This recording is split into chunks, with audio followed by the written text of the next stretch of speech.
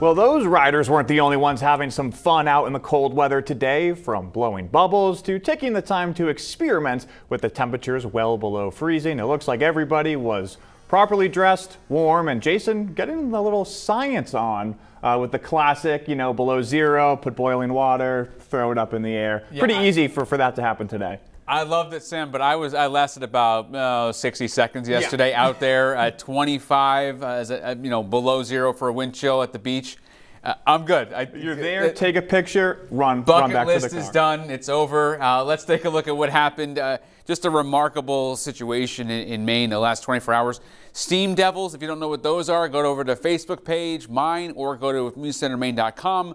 Got a picture up there uh, of one from uh, Jason Ritchie uh, up in Swans Island.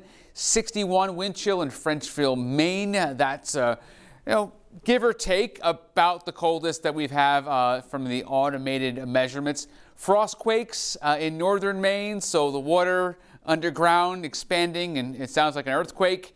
Felt like one for a lot of people, and tree explosions in Hancock County. So you have the water in the tree, in a healthy oak tree or sap, that it explodes, and there were power outages from power lines coming down. So just a wild 24 hours so far. We're not done yet. Still quite cold tonight.